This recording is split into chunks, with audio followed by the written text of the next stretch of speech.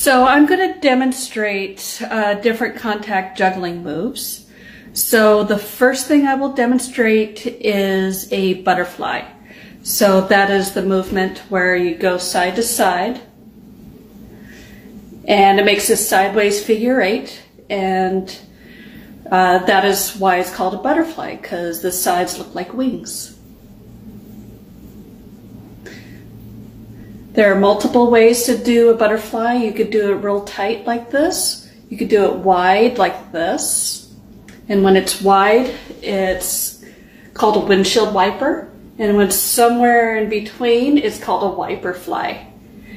And you can go over the top. You can go over the index. You can go around the pinky.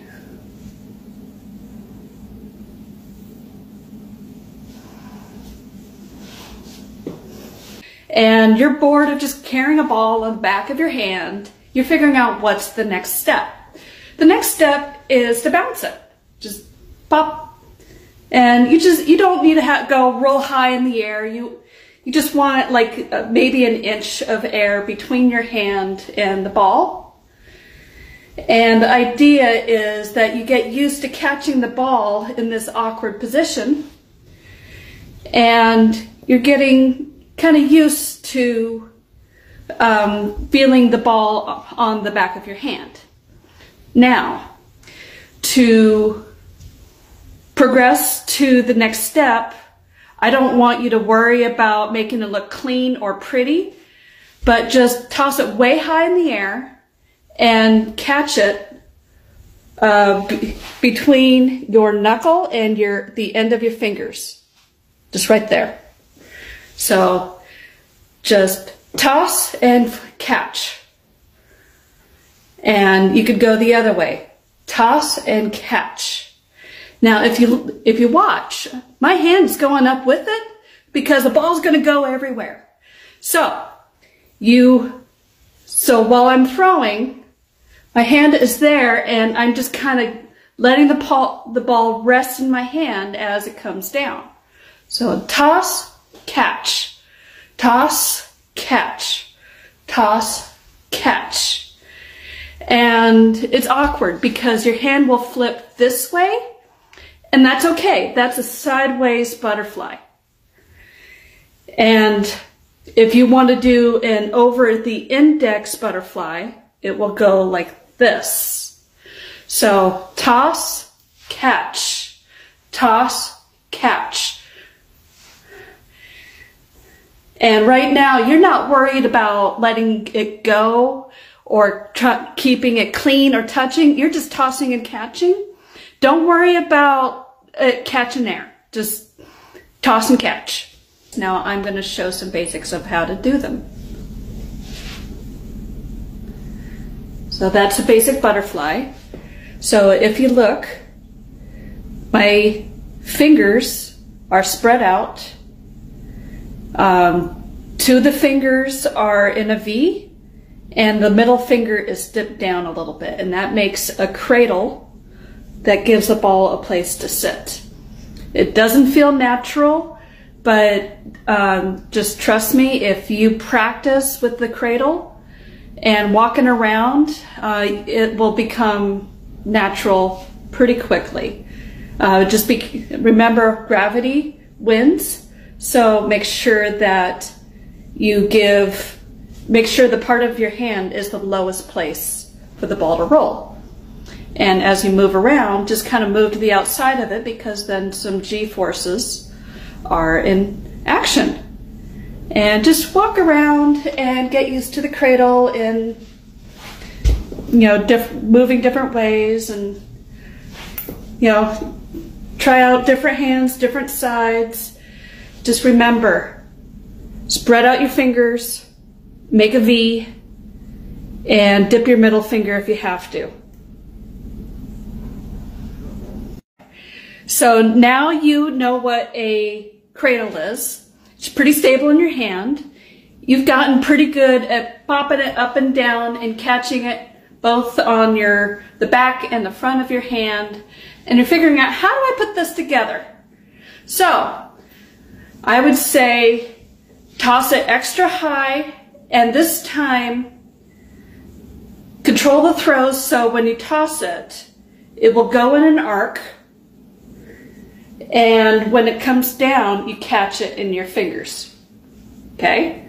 So again, this going this way, you know, just kind of lift it up and pivot from your elbow. And your fingers at this point will want to curl and chuck it into the window or the cat or the fish tank. Keep those fingers straight. Okay? So, so this is the windshield wiper variation of the butterfly. So it should look like that. Back the other way. And it looks like that. Toss, toss, toss, toss, toss, toss. So see how there's a little bit of air in there? Get used to this motion. And as you are getting more confident in this motion, I want you to pay attention to your cradle. If you notice, my fingers are in a V. As the ball goes this way, the ball wants to follow G-forces and roll out. So as it rolls out, it follows the V and goes into the dip at the apex of the throw. And then as it comes down, it follows the V.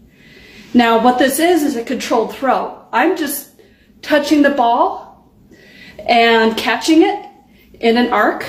And uh, I am just letting the gap close between my fingers and the ball to the point where my fingers are still touching it, but it's still a throw. So it's a controlled throw, controlled catch. Control throw, control catch.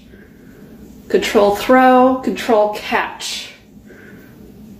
So up, down, up, down.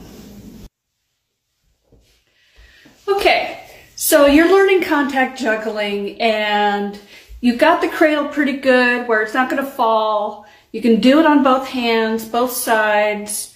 You can do the windshield wiper and you're figuring out what's next with the butterfly. And I gotta tell you, it took me about three weeks to get this one down. Give it about 30 minutes to an hour a day. Practice on the sofa, practice in front of the bed so you don't have to bend over and hurt your back. But now's the time to just kind of clean it up. So you're working on getting the ball touching your fingers as you're rolling it and as you're throwing it.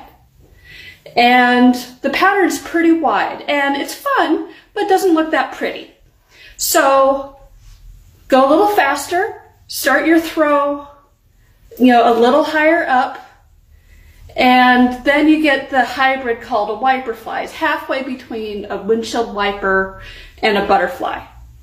And then when you get it really tight, you know, this is a butterfly. It's very, very small, very fast.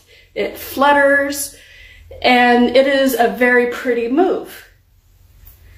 Now, so how you do it is you just go a little faster and instead of starting from here, you just kind of start up here. So you just toss like this. So the way G-forces work is um, the faster you move, the more the object wants to go on the outside. So hold on to the ball and lift, but don't flip over this time. Catch it in a tripod. Okay? So you're learning the point where the ball wants to stop going up and then starts going down. That's the apex.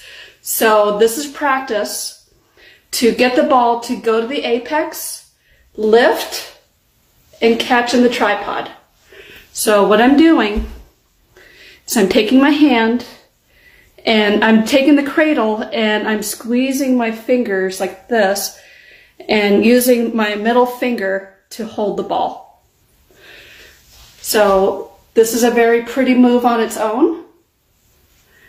And this is something you could practice in front of the TV.